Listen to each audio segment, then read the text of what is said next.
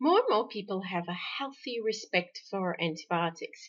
I'm not sure it always translates into less use, but it does mean when we do use them, we like to mitigate the damage that they're doing. The thinking, the antibiotic, while killing the organism that is making us sick, also decimates all the good guys living in our digestive tract. And the empty space allows the bad guys to set up shop. And if this happens, well, we can be in all sorts of trouble. In the short term, this can mean a case of antibiotic associated diarrhea. Stats suggest this happens in 5 to 35% of people taking an antibiotic. And then in the long run, well, we can end up with permanently disrupted gut microflora, which puts us at risk of a multitude of chronic health problems, including obesity, autoimmune problems, and inflammatory bowel diseases. Since no one wants this, we swallow a specially formulated bacteria loaded pill and put back the good guys. Problem solved. Right? Mm, well, not so fast a team of researchers from Israel recently discovered that probiotics do not turn back the clock and right the wrongs of the antibiotic. Quite the opposite. They actually prolong the wrongs of the antibiotic. Join us for this episode of Better Body Chemistry TV as we see what really happens when you take a probiotic after a course of antibiotics. Better Body Chemistry TV is brought to you by Dr. Sandy, a scientist turned gremlin buster, helping you battle sugar gremlins, heffalumps, and other health horribles through better body chemistry. Remember, small things can make a big difference to your health. Let me explain what the team observed. The team treated 21 healthy human volunteers with a broad spectrum antibiotic containing a combination of two antibiotics, ciprofloxacin and metronidazole, for seven days. This is similar to what your GP might prescribe if you have an infection. Now, using sophisticated techniques to track what happened inside the guts, as well as the poop of these people, the team confirmed the antibiotic created a ghost town. This was now the start of their experiment.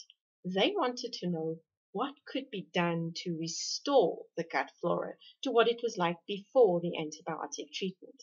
They used three approaches. Six people were given an FMT, that is, they received a fecal microbial transplant of their own poop. Now, this is a very high tech solution, not currently an option for common mortals like you and me eight people were given a premium brand of probiotic containing 11 strains of bacteria and told to consume it twice a day for four weeks. Now, they chose a commercially available formulation, which means that this is something a health conscious consumer could get their hands on, either as a prescription from their doctor or over the counter at their local pharmacy.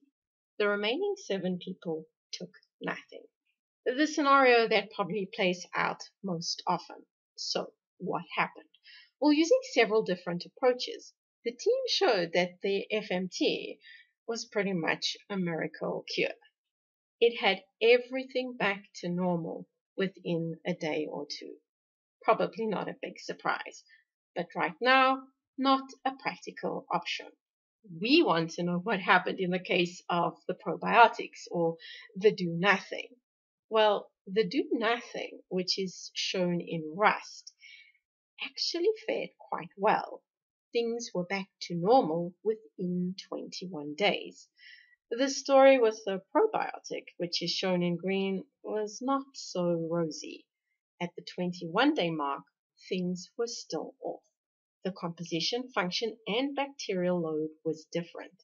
In fact, at the final checkup, five months later, the gut microbiota was still altered it had never returned to what it was like before the antibiotic treatment. Aish, how could this be? Probiotics are supposed to be good guys. Well, I think we've somehow been programmed to see them as harmless. But in reality, you're swallowing live bacteria in rather large quantities. Okay, the large quantities is probably not always true. But when you buy a premium brand, you're buying quality. And part of that quality is better manufacturing processes and more bacteria. The point is, they're alive. And they want to stay that way and have lots of babies. After all, this is the prime directive. So they play dirty. By tracking who was who in the gut zoo of the volunteers, the researchers pieced together, under normal circumstances, probiotics battle to move into our guts. More often than not, they're transient, that is, they pass through. That said, as they pass through, they can be quite helpful. Sometimes they do move in, but it takes special circumstances. Uh, there's just too much competition. But the antibiotic treatment gives them a gap. It removes the competition. With no competition, they move in lock, stock, and barrel, and then they keep competitors in check. But some of those competitors are actually normal gut residents, which leaves you with a permanently altered gut flora. Good or bad? Well, it's hard to say, but this study shows probiotics do not undo the effects of antibiotics. Doing nothing is more likely to undo the effects of a course of antibiotics. Of course, that leaves you with a question what should I do? Well, I'm not going to say don't take a probiotic alongside an antibiotic. Depending on the circumstances, it might be the right thing to do. But I do think we need to adjust our attitude towards them. Probiotics are not harmless. They're drugs and they should be handled accordingly. Just because you can buy them without a prescription and manufacturers proclaim their virtues does not mean you should be swallowing them on a routine basis. Improve your gut microbial diversity the way Mother Nature intended touch nature and eat foods that contain them and sustain them. So you create better body chemistry and better health.